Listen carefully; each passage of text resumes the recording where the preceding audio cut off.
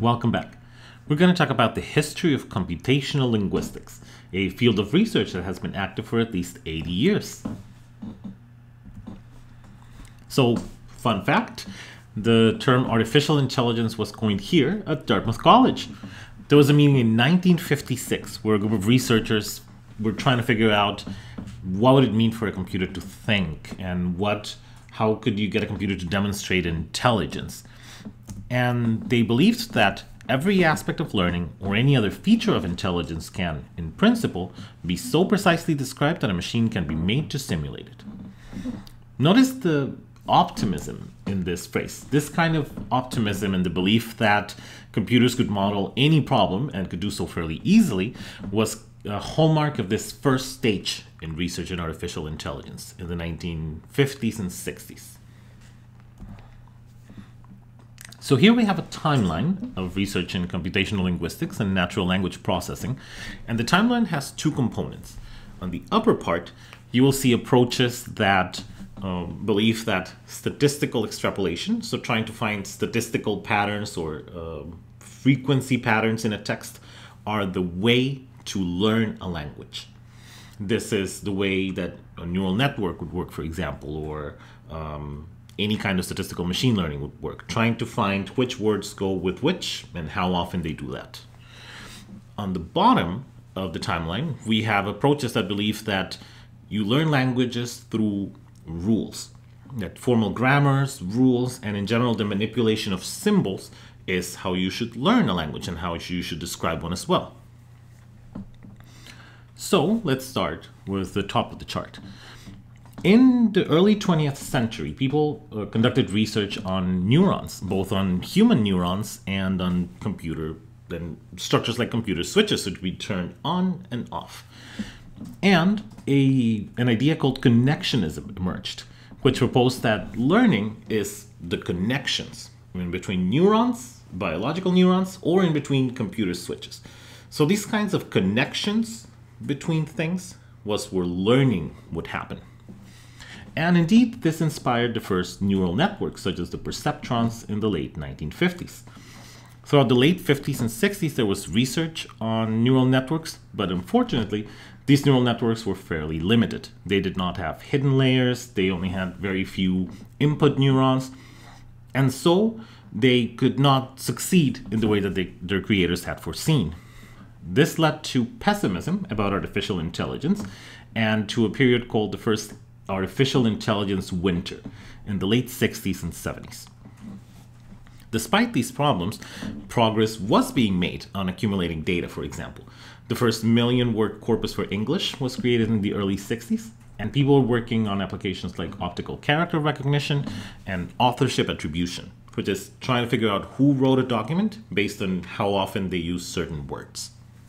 At the bottom of the chart, regarding formal grammars and rules. Um, in the early in 1954, for example, these were the first attempts at conducting machine translation. And these programs used rules that would find a word in Russian, for example, and change it for a word in English. They would do so having a, a file that would essentially be a dictionary telling you that this word in Russian corresponds to this word in English it's it, they were successful with small examples. One of the early examples was translating uh, a couple dozen sentences about coal in scientific papers from Russian to English, and it worked. And so there was optimism about what these about what uh, these rule systems could do. This was happening at the same time as research, research was being conducted on how to formalize natural languages. So Noam Chomsky, during the 50s and early 60s, invented theories of grammar that were based on rules and rules and transformations. And so natural language knowledge could be systematized in these rules, which people thought could be put into a computer. As a matter of fact, uh, in the 1960s is when the program ELIZA was created, which is a simple psychologist chatbot. You put in a greeting or a question, and then the computer, using pattern matching, regular expressions, um, switches the question and returns it to you. So it appears to be an interaction. And it does so, again, because it has rules modeling language.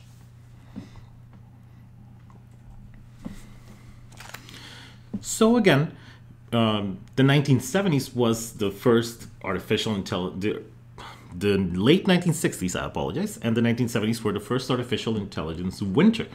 And during this era, people were developing the rule based approaches to parse human language and to try to see if this parsing could be put into computer programs. As usually happens in human endeavors, people disagreed on how this could be done, and many theories of syntax splintered from there. If you're interested, this was actually called the linguistics wars. There were so many theories that you couldn't go to a computer scientist and tell them, please implement the theory of syntax, because there were so many of them. This led to uh, increased interest in statistical approaches, in, numer- in um, statistical extrapolation people were doing things like statistical translation, which was trying to find correspondences in words between two languages. So, how often would the word uh, you are be translated to estás in Spanish? And these efforts were fairly successful. So successful that there's someone called Fred Jelinek who no one is sure exactly of what he said, but the most usual citation for it is that Every time we fire a linguist, the performance of our system goes up. People had a lot of faith that simply by using numerical systems, they could uh, find enough patterns for the computer to model human language. Fortunately, hardware in the 1980s was not up to this task. The volume of data you would need to analyze would be too much for the computers at the time. And um, artificial intelligence went into a second artificial intelligence winter in the early 80s and in the late 80s and early 90s. On the other side of the fence, people were still trying to work with uh, formalizations of language. People were building automata, uh, for example, finite state machines and finite state trans- transducers, to model aspects of language. But it ultimately turned out, as we'll see next week, that these models are would be incredibly large and almost unmanageable. People were also building a kind of system called an expert system, where they believed, for example, that you could extract the knowledge of a thousand doctors and then put through questions and answers, and then put all those questions and answers and knowledge into a kind of decision tree, and then model that so that another doctor could query the decision tree and you could get all those decisions.